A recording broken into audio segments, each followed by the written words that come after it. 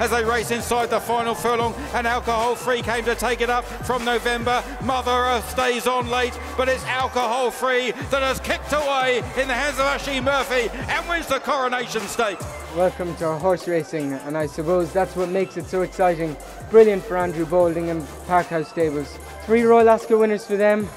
Uh, I'm over the moon for them. We've had such high expectations and, and looking forward to this meeting so much. We had a look, you know plenty of horses to run here, and you sort of think, well, one winner we really should be having with the number of horses we've got.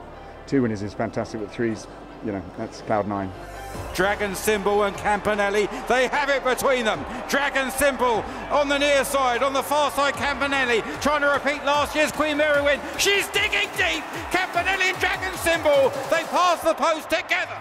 Well, winning at Ascot, no matter how you get there, is special. You know, uh, these these memories, especially with my children here. My children, if it wasn't for Ascot, they'd be going to community college, and now they're my oldest son that started with his ears down on the bottom, and he's heading into law school here in August. I'm very proud of all of them and racing up towards the line, Alenquer from Tasman Bay. What a great attitude this colt has got. Alenquer follows up his classic trial win at Sandown in the King Edward the Seventh Stakes. Yeah, I mean, look, he, he stayed a mile and a half on, on soft ground extremely well there, and, and um, I've, I've no doubt William has some fancy ideas for him, um, and, I, and I look forward to hearing what they are when I next go into ride out as they race inside the final furlong. Sandrine from Hello You. Oscula doing okay on the near side from Prettiest, but it's Sandrine that gallops clear to win the Albany.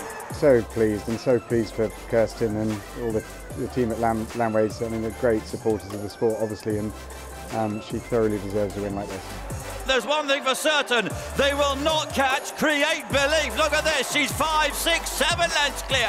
Create Belief is hacked up. Royal Ascot is, is, is the best week of the year. It's very special, it's magical, and to come back and, and, and, and train a winner now, after all those successes as a jockey, um, yeah, I'm, I'm just absolutely thrilled.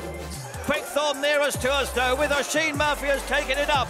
And then Raymond Tusk with the red cap has moved through to take second position. But it is Quickthorn and Oisin who win.